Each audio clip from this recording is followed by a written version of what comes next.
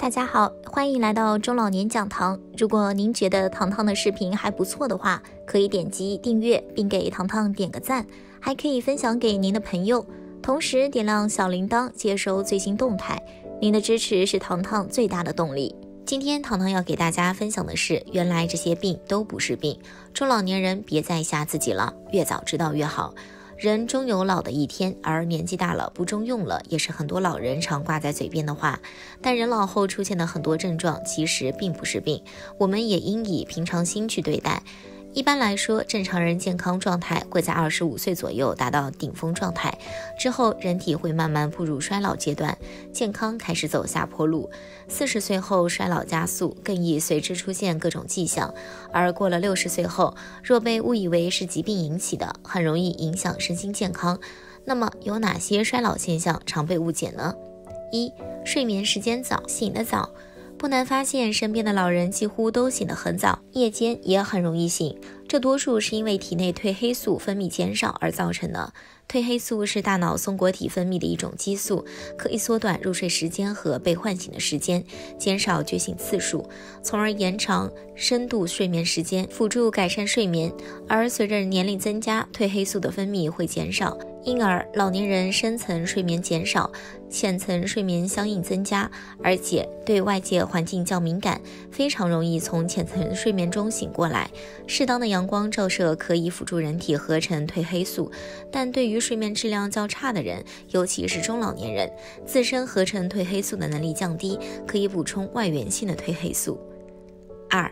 心理或社会因素导致的症状，独居、丧偶、退休等这些因素对老人的情绪影响比较大，容易导致老人失眠或不愿意出门与外界接触等。有此类情况的老人，一定要多与亲人、朋友们交流，培养自己感兴趣的爱好，用来丰富生活，分散注意力。但需要注意的是，若因为睡眠少导致神疲乏力、头晕头痛等，就需要及时就诊了。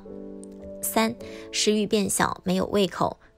老人胃口差的主要原因有三点：一、味蕾退化，随着年纪的不断增加，味蕾也会逐渐退化，这就导致我们的舌头感知食物味道的能力在逐渐减弱，好像吃什么都是没滋没味的，所以胃口就变得不好起来。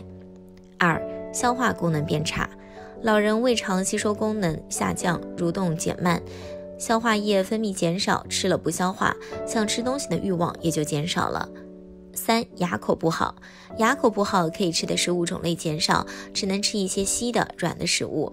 饮食太单调也会造成食欲不振，对此专家有以下建议：一、适当增加汤类食物。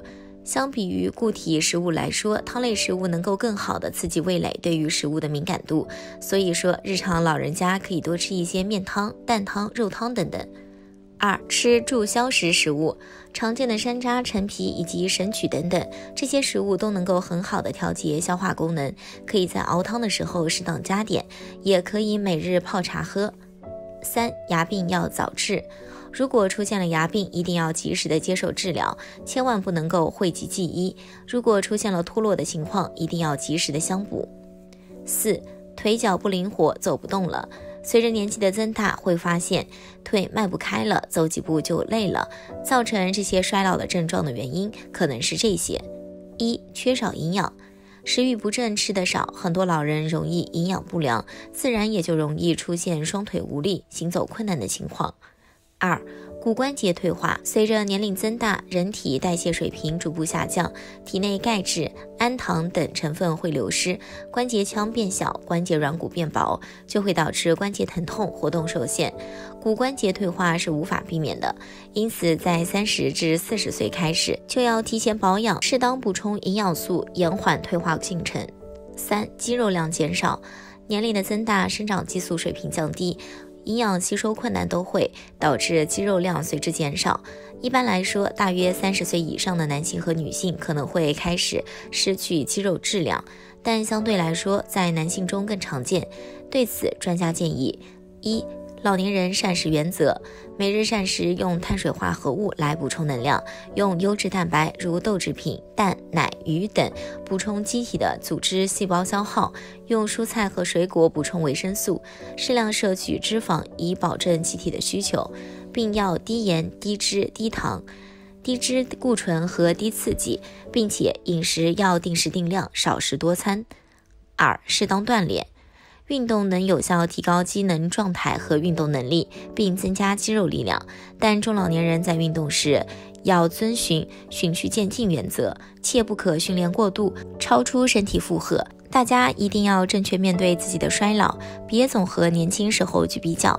体检时有些指标超标，亦或是不达标，也并非就是有病。